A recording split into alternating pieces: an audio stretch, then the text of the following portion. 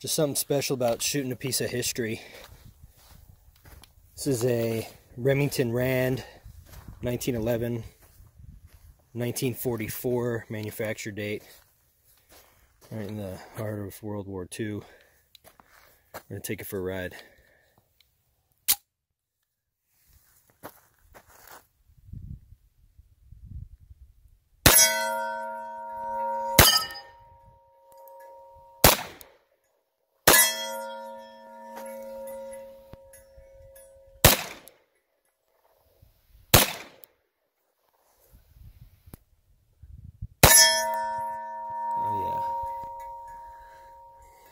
Seven plus one.